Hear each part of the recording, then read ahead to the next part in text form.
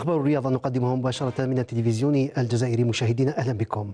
والمستهل بأم الألعاب حيث سينشط العداءان الجزائريان سليمان مولا وجمال سجات نهاء سباق الثمانمائة متر لبطولة العالم لألعاب القوى بمدينة أوجين الأمريكية والمقررة يوم الأحد على الثانية صباحا بتوقيت الجزائر بعد فوزهما في وقت مبكر من صباح اليوم الجمعة بنصف نهائي مجموعتيهما.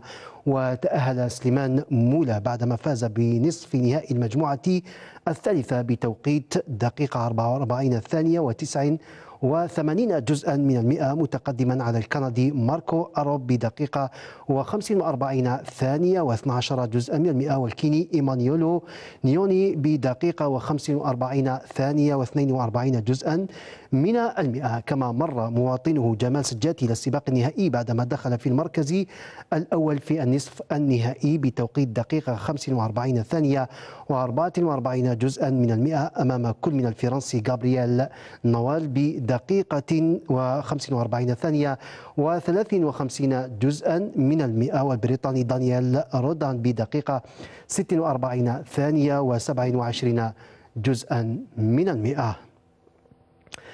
تتواصل بوهران فعاليات البطولة العربية للسباحة بالمركب الرياضي ميلود هتفي اليوم سيكون الموعد مع منافسات اليوم الثالث الذي ستكون فيه النخبة الوطنية أمام تحدي رفع رصيد الميداليات في الترتيب العام وخاصة من المعدني النفيس. وتجرى في هذه الأثناء سباق الخمسين متر أقول سباحة حرة عند الجنسين عند السيدات تدخل نسرين مجاهد واسمهان العربي يوسف وعند الرجال يشارك أسامة سحنون ومهدي نزيم بمبارة نتابع جانبا من سباق الخمسين متر. سباحة حرة مباشرة بتعليق وهبة بالحوة إذا الهدوء مطلوب بالنسبة لي خاصة المسافات القصيرة. 50 متر مسافة قصيرة جدا وبالتالي التركيز عند نقطة الانطلاق.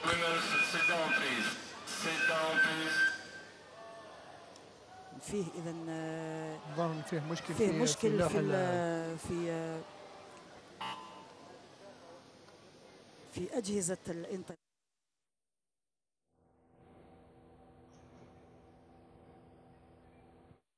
يعني نقول عمل تقني نعم. آه، تأكد من ال كل ال يعني المواصفات التقنية تكون حاضرة في آه، النهائي وبالتالي يتم التوقيت خاصة أن السباق الأول لحد الآن لم نتحصل على توقيت السباحات الفائزات بالسباق الأول سباق الخمسين متر سباحة حرة سيدات طبعا فريدة عثمان عبد المالك كريم وكذلك مجاهد نسرين كالترتيب ثلاثي من المرتبة الأولى إلى المرتبة الثالثة ولكن التوقيت لم نتحصل عليه بعد لعدم جاهزية اللوحة الإلكتروني في انتظار جاهزية هذا اللوح. ظن راح ينطلق السباق راح ينطلق السباق ربما راح كان ينتظروا جاهزية آه، اللوحة ظن كان فيه الإلكتروني. عطل فيه على مستوى اللوح ولكن تم تداركه وراح يكون فيه الانطلاق إن شاء الله للسباق. إذا الجميع راح يتابعوا إذا صاحب المركز الرواق الثالث أسامة سحنون مع رمضان يوسف وعبد الرحمن العربي في الرواق الرابع والخامس. أسامة سحنون شوفوا تنافس كبير بين أسامة. سحنون ويوسف رمضان ويوسف نعم. رمضان أيضا في تنافس. كبير على وأسامة سحنون يبدو أنه في المقدمة أسامة سحنون، نعم، راح يفعلها. نعم نعم أسامة سحنون ميداليه ذهبية للجزائر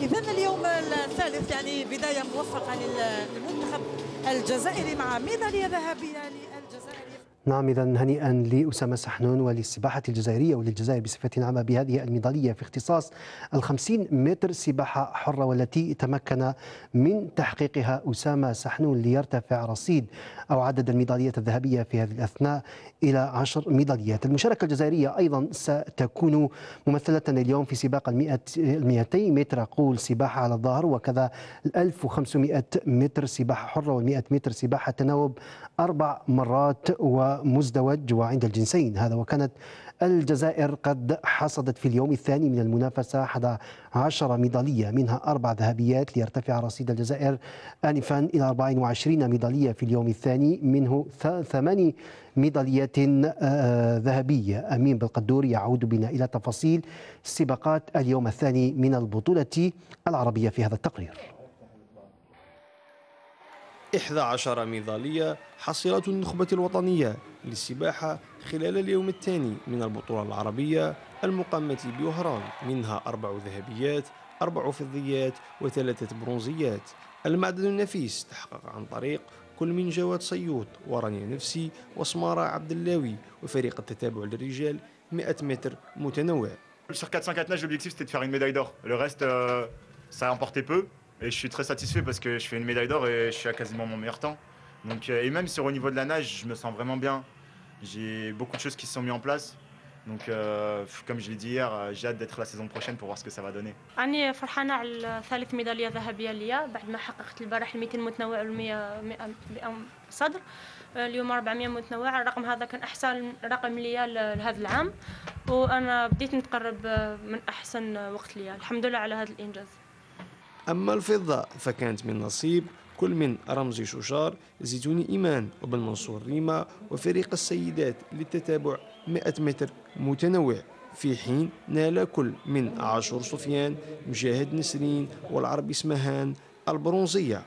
اليوم درت 50 brasse آه، اللي كانت la spécialité تاعي وكنت نوجد لها ça fait شحال وكنت نستاج عليها وخدمت عليها. المنافسه كانت شوية صعيبة. mais الحمد لله شغل j'ai fait de mon mieux pour pour avoir cette médaille راني فرحان ب la la médaille اليوم donc جينا زوج جزائريين في المرتبة الأولى والثانية. رانا نشوفوا باللي الفريق تاعنا راه غير يدي les médailles ورانا نوروا باللي رانا هنا رانا présents الحمد لله نعم لي طون تاعنا راهم يتاميليوراو par rapport واش درنا في الألعاب البحر الأبيض المتوسط. مجريات اليوم الثاني تواصل فيها الصراع. على الريادة بين المنتخب الجزائري ونظيره المصري متصدر جدول الميداليات. ولأكثر تفاصيل عن الأجواء التي تميز المنافسة ومعطيات هذه البطولة في يومها الثالث يلتحق بنا مباشرة من المسبح الأولمبي بوهران سيف الدين بن سيف الدين مرحبا بك.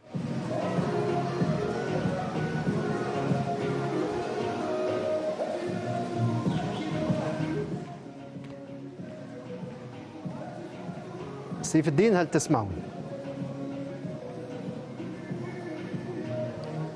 يبدو أن سيف الدين الآن آه، لأنه الأجواء هنا آه، نعم الأجواء هنا كبيرة التي تصنعها الجماهير العائلات الوهرانية الحاضرة اليوم لمساندة عناصر نعم. المنتخب الوطني للذكر أن آه، السباقات النهائية لليوم الثالث من المنافسة قد انطلقت منذ لحظات قليلة. المنتخب الوطني استهل اليوم الثالث بميدالية ذهبية أخرى كانت من نصيب أسامة سحنون في سباق الخمسين متر سباحة حرة رجال. إذا ميدالية ذهبية أخرى تعزز سجل الجزائر من الميداليات ليرتفع رصيد النخبة الوطنية من الميداليات الذهبية إلى تسع ميداليات ذهبية و25 ميدالية في المجموع. إذا كما تشاهدون في الصور مشاهدينا الكرام هذه هي الأجواء بالمسبح وبالمركب الأولمبي كان قد جرى أيضا سباق الخمسين متر للسيدات والتي ضمنت فيه مجاهد نسرين ميدالية أخرى. ولكن في في انتظار الإعلان عن النتيجة النهائية. هل هي فضية أم هي برونزية بالنسبة لمجاهد نسرين؟ إذا الجديد هو هي الميدالية الذهبية لأسامة سحنون الذي استهل آه، بها المنتخب الوطني اليوم الثالث من المنافسة في انتظار إجراء سباقات أخرى حيث سيجرى بعد لحظات قليلة سباق المئتي متر سباحة على الظهر بالنسبة للسيدات حيث يدخل الثنائي مريم طبال وكذلك إيمان آه، زيتوني وتبقى السباقات متواصلة والحظوظ قائمة لنيل ميداليات آه، جديدة خصوصا معدن الذهب ومواصلة منافسة المنتخب المصري على تصدر آه، سلم آه، أو سلم الميداليات آه، بالنسبة لمجموع ميداليات المنتخبات. المنتخب المصري لحد الآن هو الأول ولكن المنتخب الجزائري اليوم تمكن من تحقيق هذه الذهبية لحد الآن. هناك أيضا ننتظر دخول أيضا جواد سيود في سباق ال 200 متر فراشة رجال وهو الذي حقق أربع ذهبيات منذ انطلاق البطولة. شكرا لك سيف الدين على كل هذه التفاصيل ومزيد من التألق للنخبة الوطنية في هذا الموعد العربي المهم بالباهية وهران. في خبر آخر عقد المكتب والمكتب الجديد للاتحاد الجزائري لكرة القدم أول اجتماع شهري له يوم أمس الحادي والعشرين جويلية 2022 برئاسة السيد جهيد زفيزف وبحضور جميع أعضاء الاتحاد الجزائري لكرة القدم باستثناء العضو حكيم الدان الذي رافق المنتخب الوطني لأقل من عشرين سنة إلى أبها السعودية أين يشارك فيه البطولة وبطولة كأس الأمم العربية ومن أبرز مخرجات الاجتماع. اختيار عز الدين عراب كنائب لرئيس الفاف وجمال مربوط كنائب ثاني لرئيس الفاف أيضا كان الاتفاق على عودة كأس الجمهورية الموسم المقبل بعدما غابت سابقا بسبب جائحة كورونا. كما تم الاتفاق على تكييف القوانين بخصوص ازدواجية المناصب وتحديد تواريخ انطلاق بطولات القسم المحترف في السادس والعشرين أوت وقسم الهواة في السادس عشر سبتمبر والقسم الثالث في الثالث والعشرين. من نفس الشهر. أيضا الاتفاق على تحديد السن والإجازات في جميع الأصناف هذا بالإضافة إلى قرارات أخرى الهدف منها تحسين وضعية كرة القدم المحلية في الموسم الجديد. فاز المنتخب الوطني على نظيره اللبناني بهدفين مقابل هدف يوم أمس ضمن منافسات الجولة الأولى بالمجموعة الثالثة ببطولة كأس العرب لكرة القدم لأقل من عشرين عاما والمقامه حاليا في السعودية. وسجل هدفي الجزائر ماسيل الجودي في الدقيقة وياسين قول أيضا حامد في الشوط الأول. ليتمكن المنتخب أو لأعضاء يقلص قول المنتخب اللبناني الفارق بهدف في الدقائق الأخيرة من المباراة بهدف عمر بهلوان. ملخص المباراة نتابعه بتعليق بلال بناري. الكرة اللبنانية شيئا فشيئا. من يتحصل على الكرة هذه ومن يسجل الهدف؟ لأننا الآن دخلنا في فخ التساهل. دعوني نقول هذا هاي الكرة هاي جميلة هاي التوزيعة من يسجل؟ من يسجل ولا أحد؟ من يسجل؟ هل الكرة تأبى الدخول أم ماذا؟ الآن دخلت. الآن دخلت الهدف الأول لمصلحة المنتخب. الصورة العلم الوطني مرفوع من قبل هاتي النسوة. آه، هؤلاء النسوة لا ارتأينا إلا التنقل إلى ملعب بابا من أجل المؤازرة وإعطاء آه، دروس وإعطاء آه، أمور كثيرة بأن المنتخب الوطني الجزائري والألوان الوطنية والعلم الوطني آه، مناصر من قبل كل فئات المجتمع الجزائري. هذا هو قاسم المشترك بين آه، الشعب الجزائري الانتماء للألوان أينما كان وأينما تسديدة قوية على ثلاث مرات تقريبا. وخاصة ونحن نحتفل بستينية الاستقلال هدف مقابل صفر لمصلحة المنتخب الوطني أمام منتخب لبنان في حدود الدقيقة الثالثة والعشرين. يتدخل الدفاع الجزائري مباشرة إلى التماس في آه، مباراة لا أقول ليست متكافئة ولكن الأفضلية فيها واضحة لعناصرنا الوطنية حتى المنتخب اللبناني السؤال الذي يطرح هل سيستمر من آه، الصمود أم أنه آه، سيحاول الخروج من منطقته؟ لأنه أمام آه، أرمادا هجومية بقيادة كل من جوريس رح ومسعود سالم وكذلك أسامة عمار.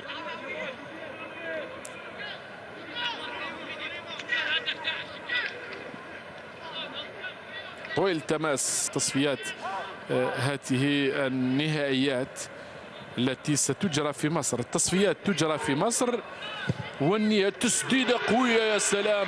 ما أروع الهدف ما أجمل الهدف ما أروع هذا الهدف. يا ياسين يا بن أحمد كيف سددت وكيف سجلت هذا الهدف؟ باغتني وأسعدت هؤلاء باغ الثاني وسعدتها مقابل صفر. هاي الكرة من اللاعب الذي سجل الهدف الأول. خدا كامل الوقت ويا سلام يا للروعة يا للروعة ويا للمهارة ويا للقوة. ليس فقط روبرتو كار نتمنى إن شاء الله طاقة صفراء. جميلة هذه الكرة الجزائرية. وكيف يكون الرد نتحدث عن الاحتفاظ بالكرة نتحدث عن الفرديات الزائدة ونتحدث عن أمور زايدة بالنسبة لهذه التشكيلة. والثلاثين من هذا الشهر ومباريات نصف النهائي تلعب يوم الثالث أوت مباراتين والمنتخب اللبناني يتمكن من تقليص النتيجة لمصلحته عن طريق عمر. نعم وللحديث أكثر عن هذا الفوز وأمور أخرى عن المنتخب يلتحق بنا مباشرة عبر الهاتف من السعودية. مدرب المنتخب الوطني لأقل من عشرين عاما محمد لاسات. مدرب مرحبا بك. مرحبا إسماعيل السلام عليكم. تحية متبادلة. يعني دخول موفق في بطولة العرب فوز مهم على لبنان. ما هو تعليقك آه، في بخصوص هذا اللقاء آه، مدرب؟ اولا يعني بداية المنافسة شيء صعيب والخصم يعني ما ما كما يقولوا ما كانش خاسر حتى شيء. لعب بطريقه كما يقولوا طريقة اللي دفاعية واللي كانت لازم ناخذ حذرنا ولكن خدينا زمام الأمور وخدينا القرار باش نهاجم وهاجمنا وكانت عندنا فرص كثيرة سجلنا اثنين من الأهداف وكنا قادرين نسجلوا أكثر. ولكن في الشوط الثاني إحنا أردنا أن نرتاح شوية من الناحية الفنية لأن اللاعبين كانوا غير كما لحقوا للسعودية وكذلك كما يقولوا تسير المقابلة. ولكن ماناش راضيين واحد الشيء يعني طريقة اللعب تاع تاعنا في الشوط الثاني. أه طغى عليها شوية اللعب الفردي والأشياء الزايدة.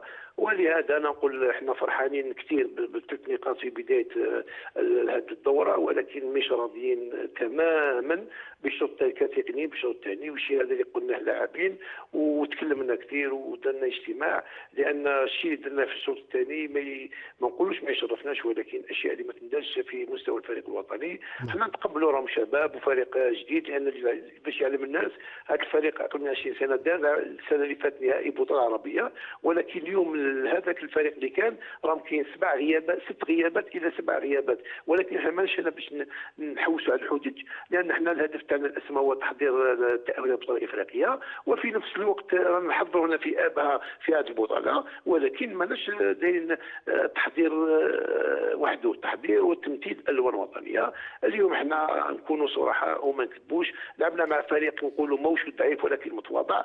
سينا المقابلة في الشوط الأول بطريقة يعني فرحنا بها إحنا وفرح بها الشعب الجزائري ولكن في الشوط الثاني ما كناش في المستوى اللازم ولهذا التحضير تاعنا راح يكون من صحيح الشوط الثاني تاع مقابلة لبنان. نعم. جميل. يعني اللقاء القادم أيضا سيكون أمام ليبيا كيف ستحضرون له؟ وهل كل التعداد سيكون مكتمل قبل هذا الدربي المغاربي؟ وما هي أبرز النقاط التي ستركزون عليها من أجل تصحيح ما كان في مواجهة المنتخب اللبناني؟ والله الحمد لله أول من جهه من ناحية الإصابات ما كانش من ناحية التعب رانا نسترجعوا عندنا وقت كبير يعني عندنا في 21 راح نلعب مقابلة ثانية في الثانية في 27 راح تكون ست أيام راحة نظن بلي من الناحيه البدنية ما عندنا ماش تكون الحمد لله يكون عندنا الوقت. من ناحية الإصابات ما كاش وكذلك العقوبات ولكن يبقى كره القدم لازم تحضر لازم تعرف تجيري كما يقولوا تسير المعنوية تاعك تلعب تحترم الكره تحترم الخصم يعني إحنا بكل صراحة نقول نتحمل مسؤوليتي مانيش مدرب اللي يقولوا ما عندناش فريق ومن بعد كي تكون النتائج يقولوا لا اليوم عندنا فريق عندنا فرضيات عندنا نظام عمل. ما عملناش كثير لأن غياب المقابلات الودية آه لأسباب يعرفها الجميع. الفيدراليه ما كانش يعني كما يقولوا بكل وقفة وما كان مش موقفة ما كانش رئيس يروح رئيس يجي. عندنا يعني مقابلات آه كما الفريق اللبناني على الاقل الفريق اللبناني دات أربع مقابلات في نهاية شهر إلى شهر جوي. إحنا اليوم عندنا فريق عنده إمكانيات عندنا عندنا طموح ولكن عندنا نقص من ناحية التحضير من ناحية من ناحية التكتيكيه الانسجام ولكن رغم هذا اللاعب راح راح كما يقول كما نقولوا نكومبونسيو هذاك النقص التكتيكي والنقص تاع الانسجام راح يكون بالإرادة وباللعب التقني تاعنا والانسجام وخاصة خاصة التنظيم واحترام الخصم. نعم. يعني نعلم أنك قد تابعت مباراة منتخب التونسي أمام المنتخب البحريني وكان التغلب لمنتخب تونس بصفة عامة كيف يمكن تقييم المستوى العام لهذه البطولة وما هي حظوظ يعني المنتخب الجزائري من أجل بلوغ النهائي؟ والله شوف البطوله إحنا هذه الفرق العربية الفرق اللي تتحكم في الأمور هي فرق شمال افريقيا تونس الجزائر المغرب والسعودية بالمنظم واليوم يظهر فرق عندها مستوى أنا اليوم رغم الهزيمة تاع الفريق البحريني الشوط الأول الفريق البحريني كنت في آه، شفته في الملعب ابهرني واللي صار في الشوط الثاني هي التجربه تاع الفريق. التونسي اللي الناس باش تعلم الفريق التونسي راهو عنده مستوى وعنده يقدر كيما إحنا يقدر يزيد يتطور. الفريق التونسي على الأقل على الأقل من آه، الفئة تاع 15 سنة إلى يومنا هذا أنا الزميل المدرب تاعهم الزميل تاعي عندهم على الأقل واحد 28 مقابلة دولية. هذا الشيء اللي يسمح لهم باش يكون عندهم آه، انسجام ويكون عندهم روح فريق. إحنا الحمد لله رانا نديروا بالإمكانيات اللازمة. كانت هناك ظروف ولكن اليوم ماشي الإنسان ما يكذبش على الناس. كاين إمكانيات نعم محمد. آه إن شاء الله نستغلوها وخاصة خاصة خاصة خاصة المستوى التقني تاع اللاعبين. إذا شكرا لك مدرب المنتخب الوطني لأقل من 20 عاما. كنت معنا مباشرة شكرا. من أبها السعودية عبر الهاتف محمد لاسات وكل التوفيق للنخبة الوطنية في هذا الموعد العربي الذي يتواصل اليوم حيث كان الموعد مع مباراة مهمة بين المنتخب التونسي والبحريني وعرفت فوز نصور قرطاج بنتيجة أو بثلاثية نظيفة لحساب دائما الجولة الأولى من المجموعة الخامسة. نتابع ملخص المباراة بتعليق عبد العزيز بن سالم. مباراة اليوم هي في افتتاح آه، مباريات ومواجهات المجموعة الخامسة بين المنتخب التونسي والمنتخب البحريني. الجزائري ما يزال يبحث عن هذا اللقب وهذه فرصة للمنتخب التونسي. فرصة خطيرة كانت ولكن عبيد هنا يطالب بركلة ركنية لكن حكم المباراة أشار إلى ركلة مرمى لاحظ الإعادة تمريرة. كانت لكن محمد عزيز قدر الحكم بأنه هو آخر من لمس الكرة. هاي الإعادة بالعرض البطيء. بتيد على الجهة اليسرى. ينتظر المساندة التي تأتيه آه، من الجهة اليسرى. هذه فرصة للمنتخب التونسي. أوه ضاعت فرصة الهدف. نعم. أوه هدف أول هدف أول للمنتخب التونسي. صالح البرهومي صالح البرهومي أم يوسف إسنانا نعم. أسنانا يفتتح باب التهديف لمصلحة المنتخب التونسي قبل 30 ثانية عن نهاية الشوط الأول. إذا صار النسور قرطاج متقدمون في النتيجة. سيناريو رائع سيناريو جميل سيناريو كان يتمناه التوانسة. يتمنى ناجح التومي شوف الانطلاقه شوف البناء الهجمة. كان من هنا. العرضية كانت موجودة. الكرة الأولى من الضاوي ثم الثانية والثالثة برأس يوسف السنانه قلب الهجوم رقم تسعة بالرأس يستقبلها بشكل ممتاز. وعيسى عبد الله عيسى هو من تدخل الرأس. الهدف الثاني للمنتخب التونسي يأتي الآن. سورو قرطاج يضيفون الثاني عبر محمد وائل الدربالي لاعب الأولمبي الباجي هدف ثاني. يا سلام على تونس. يا سلام على نسور قرطاج. كيف حلق الدربالي فوق الجميع. وبالراس يستقبل كرة جاءت من ركنية. هدف ثاني جاء بهذا الشكل. كيف حلق النسر التونسي محمد وائل الدربالي بشكل رائع فوق الجميع؟ تذكر. توجد وضعية التسلل العرضية موجودة. هو هو. الثالث والثالث لنسور قرطاج محمد عزيز عبيد. بالرأس مجددا. التوانسة أو التونسيون يضيفون الهدف الثالث. خلاص. خلاص أنهوا المباراة. أنهوا كل شيء. حسم الأمور. المنتخب التونسي قبل أربع دقائق. محمد عزيز عبيد مهاجم الترجي الرياضي. في تكريمات كرة القدم ومساء أمس أعلن الكاف عن الفائز بحفل جوائز الاتحاد الإفريقي لكرة القدم الأفضل في إفريقيا العام 2022 وفاز المحترف السنغالي بصفوف بايرن ميونخ الألماني ساديو ماني بجائزة أفضل لاعب في القارة متفوقا على المصري بصفوف ليفربول الإنجليزي محمد صلاح ومواطنه حارس مرمى تشيلسي الإنجليزي إدوارد ماندي. وفاز مدرب منتخب السنغال أليو سيسي بجائزة أفضل مدرب بالقارة عام 2022 متفوقا على مدرب منتخب مصر الأسبق كارلوس كيروش والمدرب وليد الركراكي فيما فاز حارس مرمى الأهلي محمد الشناوي بجائزة أفضل حارس في القارة وفاز المنتخب السنغالي بجائزة أفضل منتخب في القارة متفوقا على منتخبي مصر والكاميرون. في رياضة الزوارق الشرائية انطلقت اليوم بشاطئ تمنفوست تظاهرة فانتازيا الرياضة الزوارق الشرائية والتي عرفت مشاركة 105 ملاح وملاحة سيتنافسون على مدار ثلاثة أيام حيث تجرى يوم الأحد السباقات النهائية وتعد هذه المحطة تحضيرية لعديد المنافسات والمنافسات تقول المحلية القارية والدولية.